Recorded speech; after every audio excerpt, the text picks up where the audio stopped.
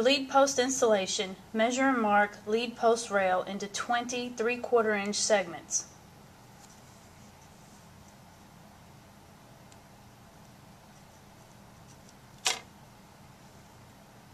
After your marks are made, using a Dremel tool or other cutting instrument, cut lead post rails into previously measured segments. I think you need that, but okay. Install all lead posts into terminal strips through previously drilled lead post holes.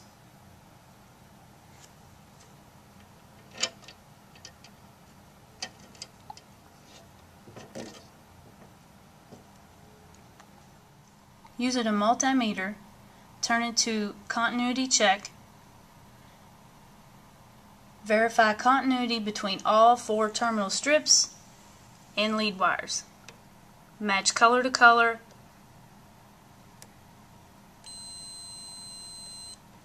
on each strip.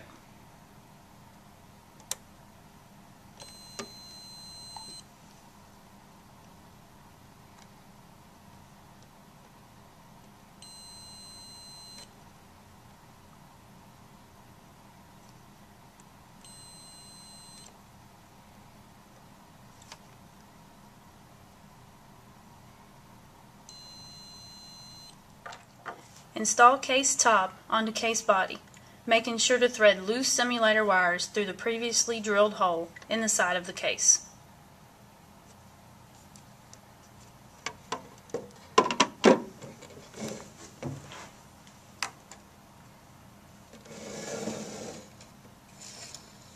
Your end result should look something like this.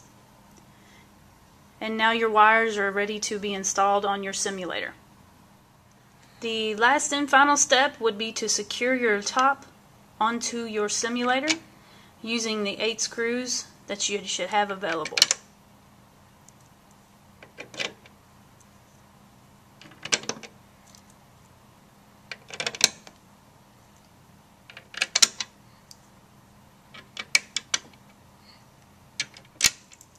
To conclude this video, we've offered just two last steps, totally optional steps. Case handle installation, which you can see right here on the back side of the case.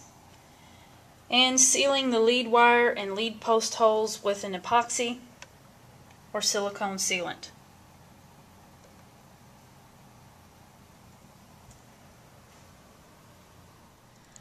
When hooking your bridge to the simulator, you need to take the wires that are coming out of the backside of your bridge, strip the ends of the wires, and hook them to your simulator matching the colors to the appropriate lead.